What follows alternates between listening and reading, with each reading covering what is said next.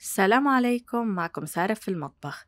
اليوم بدنا نعمل كرات النوتيلا بتخلص معنا بدقايق ما بدها فرن وما بدها تعب. أول شي منحط واحد كوب حليب بودرة على النار نار تكون هادية لمتوسطة ومنضلنا منقلب لحتى ياخد لون ذهبي عنا.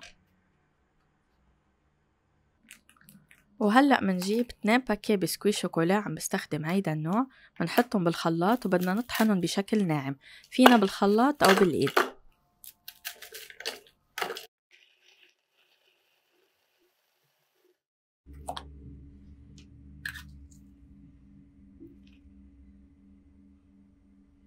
وهلأ بالوعاء اللي بدنا نشتغل فيه منحط البسكوي اللي طحناهم منخلي شوي لنزين فيهم بعدين ونغلف فيهم الكرات. على البسكوي منضيف الحليب المحموس اللي حضرناه قبل وبنخلطهم مع بعضهم منيح منضيف عليهم علبة قشطة وزنها 170 جرام.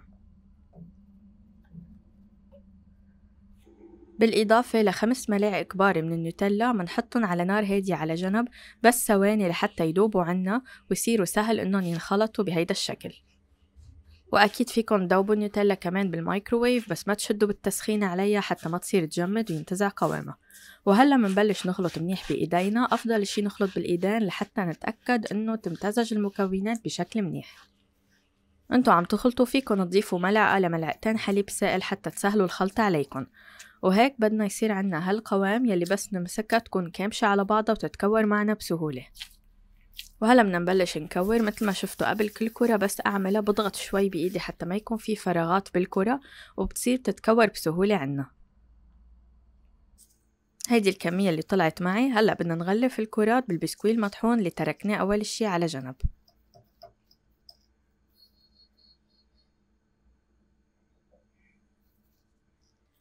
عند التقديم منحطهم بصحن ومنزينهم بخطوط نوتيلا كمان مندوبهم على جنب منحط الخطوط عليهم بيصير شكلهم كتير حلو للتقديم. فكرة هالوصفة كتير بسيطة وسريعة ما بدها كتير مكونات وبتخلص معكم بسرعة بس بتعطيكم نتيجة كتير حلوة والطعم كتير بتطلع طيبة. وأكيد إذا مش متوفر عندكم نوتيلا متوفر نوع تاني شوكولا قابلة للدهن فيكم تستخدموا أي نوع متوفر عندكم ونفس الشي للبسكوي يلي استخدمته منكم مجبورين فيه فيكم تستخدموا أي نوع متوفر موجود عندكم. شايفين شكلها من جوا شو حلوة؟ بتطلع كتير خفيفة وبتدوب دوبان بالتم. كتير بنصحكم تجربوها وحتعجبكم كتير إن شاء الله.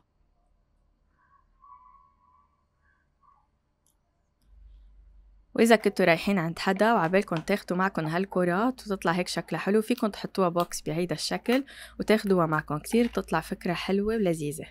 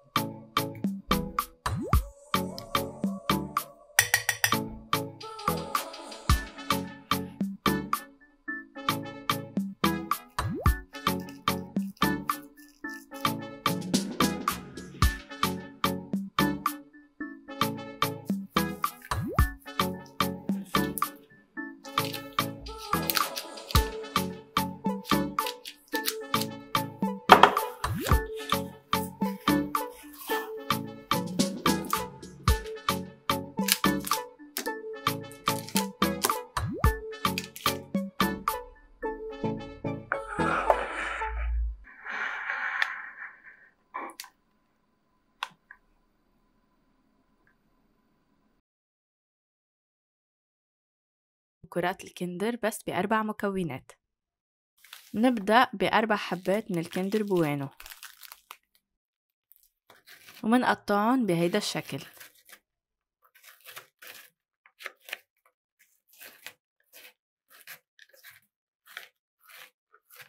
بدنا إياهم يصيروا ناعمين بهيدا القوام مشان دغري يتشكلوا معنا كرات بعدين.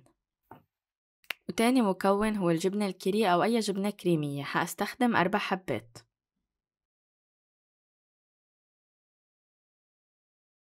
خلوا الجبنة الكريمية تكون بحرارة الغرفة حتى تمتزج معكم بسهولة وما تعذبكم. لازم يكونوا ممتزجين بهيدا الشكل. تشكيلهم كتير سهل وما بدهم أي تبريد ودغري منبلش نعملن على شكل كرات. هالحلا ما بياخد معكم دقايق وبصير جاهز وضيوفكم حيتفاجئوا إنه هالقد سهل وما بده أي تعب ليتحضر. للتغليف حأستخدم شوكولا بيضة بتلبق كتير كلون مع الكندر بدنا ندوبها على حمام مائي. وأكيد فيكن تدوبوها بالمايكرويف بس تصير دايبة منبلش بدنا نغلف فيها الكرات. ضوقت هيدي الكرات للضيوف وتفاجئوا صاروا يقولوا لي شو هيدا الحلا المرتب وشو هالكرات الفخمة وشو حاطة فيها كتير مرتبة ولذيذة. فأنتوا بس تعملوا هالكرات ضيوف حيتفاجئوا إنه عن جد بمكونات قليلة بس الطعمة كتير متناسقة مع بعضها وكتير حتطلع ضيافة مرتبة. هلأ منحطهم بالبراد عشر دقايق حتى يجمدوا. فيكن تزينوا الكرات بأي شي عبالكن يا بس كتير بيلبقلن زينهم بخطوط Kinder بيعطونا لون كتير حلو ما بيكون كتير غامق ولا كتير فاتح والطعمة كمان بتكون متناسقة. بيلزملنا بس إصبعين من ال Kinder بدنا ندوبهم حمام مائي أو مايكروويف حتى نعمل فيهم خطوط فوق الكرات. وهيك بيطلع لون ال Kinder معنا بيشبه لون الكراميل كتير بيطلع حلو على الكرات. هلأ بدنا نحطهم بكيس وبدنا نعمل فتحة صغيرة حتى نعمل خطوط رفيعة فوق الكرات. قبل ما تبلشوا اعملوا test على كاسة صغيرة تتشوفوا كيف الخطوط عم يطلعوا معكن وتعدلوا إذا بدكن أي شي. بس جمدت الشوكولا البيضة بشكل كامل منحط عليها خطوط ال Kinder. وهيك صاروا جاهزين للتقديم. قدموها لضيوفكن وشوفوا شو حيقولوا لكم إن شاء الله كتير حتعجبكن هيدي الوصفة وحتعيدوها مرة واثنين وثلاثة. صحتين وهنا.